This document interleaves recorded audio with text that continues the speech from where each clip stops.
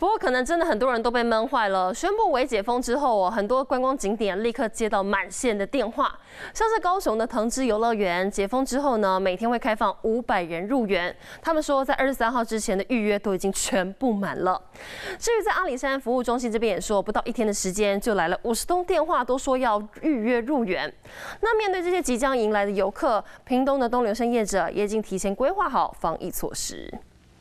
美丽的云海在山中悠然飘荡，游客爬上针叶林吸收分多精。这是高雄藤枝游乐园三级警戒宣布官员为解封消息一出后，开放每天自由登记三百人，不到十分钟时间，到二十三号以前已经全数额满，通通抢光光。另外还有火车汽笛声回荡山头，搭车欣赏两旁的美丽山景。为解封消息一出，想一睹美景的民众实在等不及，马上拨电话到阿里山服务中心询问，一天时间内就涌进。五十通一约，呃，可以微解封。那我们是限制同时间三千人，同时间在里面有两千人，那我们会有细胞检讯。往南来到东港，也有不少人询问船班，等着来小琉球游玩。船运业者也忙着做好防疫措施，还是会这个会调整阴影的班次。